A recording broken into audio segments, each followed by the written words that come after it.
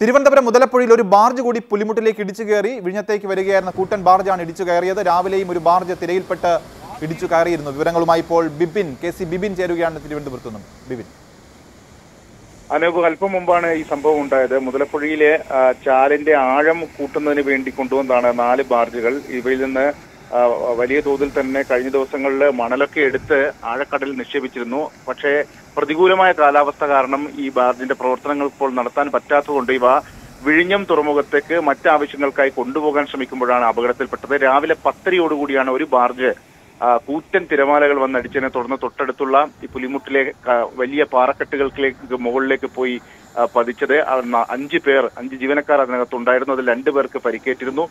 അങ്ങനെ എല്ലാവരെയും രക്ഷിക്കുകയൊക്കെ ചെയ്തു. പക്ഷേ ഇപ്പോൾ ഈ രണ്ടാമത്തെ ബാജ് അതും വൈകുന്നേരം ഈ ചാലിൽ തന്നെ നങ്കൂരമിട്ട അവസ്ഥയായിരുന്നു. പിന്നീട് ഈ വേലിയേറ്റ സമയത്ത് തിര ശക്തമായി അടിച്ചതിനെ തുടർന്നാണ് ഇപ്പോൾ അതും ഈ തിരയിൽപ്പെട്ട് ഏതാണ്ട് ഈ ഈ പാറക്കെട്ടുകളിലേക്ക് അടിക്കുന്ന സാഹചര്യം വന്നിരിക്കുന്നത് ഏതായാലും അതിൽ ജീവനക്കാർ ഇല്ല എന്നാണ് ഇപ്പോൾ നമുക്ക് ലഭിക്കുന്ന വിവരം.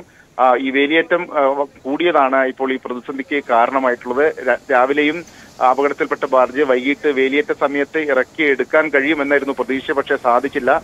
സമാനമായി തൊട്ടടുത്ത് തന്നെയാണ് ഇപ്പോൾ നമുക്ക് ദൃശ്യങ്ങൾ കാണാം. ആദ്യത്തെ ബാർജ് അപ്പുറത്ത് പാറക്കെട്ടുകൾക്കിടയിൽ കുടുങ്ങി നിൽക്കുന്നത് കാണാം. ഇപ്പോൾ രണ്ടാമത്തെ കൂറ്റൻ ബാർജാണിത് ഇതും ഇതേ സാഹചര്യത്തിൽ പെട്ടിരിക്കുകയാണ്. ഏതായാലും ഇന്നിപ്പോൾ അതിൽ നിന്ന് അത് എടുക്കാനുള്ള ശ്രമങ്ങൾ സാധിക്കില്ല. പക്ഷേ നാളെ രാവിലെ തന്നെ രണ്ട് ബാർജുകളും ഇറക്കാൻ ഈ ഈ- പ്രതിസന്ധിയിൽ നിന്ന് മാറ്റിയെടുക്കാൻ കഴിയുമോ എന്നാണ് ഇതിന്റെ കോൺട്രാക്ടർമാരും മറ്റുള്ളവരും ശ്രമിക്കുന്നത്.